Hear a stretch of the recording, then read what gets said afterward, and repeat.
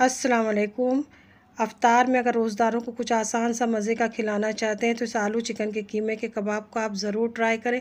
बहुत ही आसानी से बन जाते गरम गरम कबाब को आप चटनी के साथ सर्व करें या इस तरीके से पाँव में रख के सलाद के पत्ते, प्याज के लच्छों के साथ भी आप इसे सर्व कर सकते हैं। रेसिपी अच्छी लगे तो फैमिली फ्रेंड में ज़रूर शेयर करिएगा।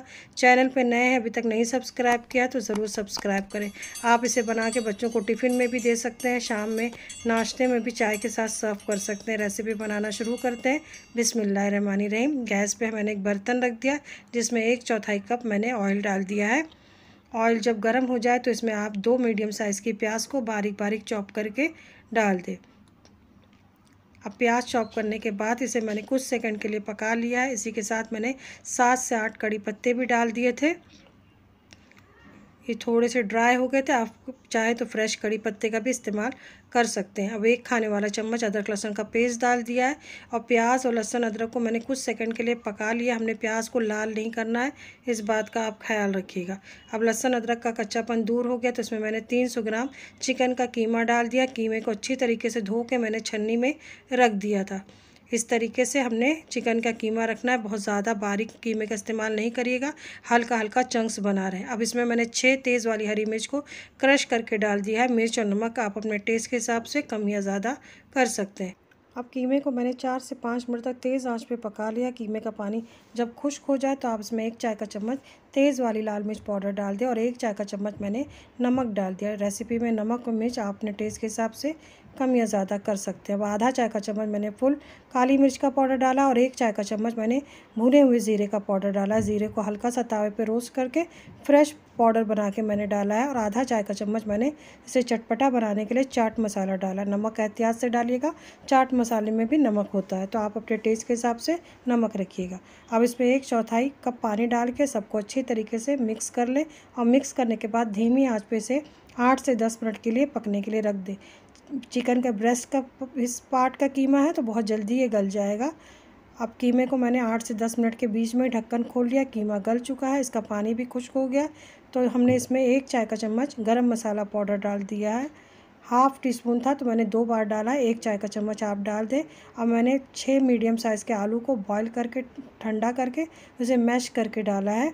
बहुत ज़्यादा हमने आलू को पेस्ट नहीं करना है, हाथों से आप इसे मैश करें। अब कीमे को मैंने अच्छी तरीके से आलू के साथ मिक्स कर लिया है, चार से पाँच मिनट तक। अब इसे गैस का चूल्हा बंद करके आप ठंडा होने के लिए रख दें। अब कीमा और आलू का मिक्सचर अच्छी तरीके से ठंडा हो गया। इस तरीके से छोटे छोटे चंक्स नज़र आना चाहिए। खाने में बहुत ही मज़े के लगते हैं। अब इसमें थोड़ा सा कटा हुआ हरा धनिया और पुदीना मैंने डाल दिया है। एक मुट्ठी के करीब दोनों हैं। अब इसे मिक्स करने के बाद हम इसके कबाब बनाएँगे। हमें इसे किस तरीके से कोट करना है, आप इसे ज़रूर देखिएगा रेसिपी को स्किप करके मत जाइएगा। अभी मैं थोड़ा सा कबाब फ्राई करके आपको बताऊँगी, जिसके लिए एक अंडा ले लिया, उसमें मैंने एक चौथाई चम्मच नमक डाल दिया और एक चौथाई चम्मच काली मिर्च का पाउडर ब्रेड क्रम्स को हमने इस तरीके से बारीक पाउडर इस्तेमाल करना है। ब्रेड क्रम्स को आप मिक्सर में डाल के उसका बारीक पाउडर बना लें। अगर आपके यहाँ बटर मिलता है तो आप सादे बटर को भी पीस के कटलेट में कोट कर सकते हैं। बहुत अच्छा टेस्ट उससे भी आता है, लेकिन आप मीठे टोस्ट या मीठे ब्रेड का इस्तेमाल नहीं करिएगा, नहीं तो कबाब का टेस्ट ख़राब हो जाएगा। अब इस तरीके से मीडियम साइज़ के कटलेट बना लें, ना ज़्यादा मोटे, ना ज़्यादा पतले।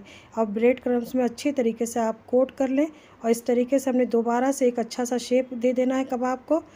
अब गैस पे मैंने ऑयल रख दिया था, गर्म होने के लिए मैं थोड़े से कबाब तैयार कर लिए बाकी को मैं फ्रीज में रख दूँगी।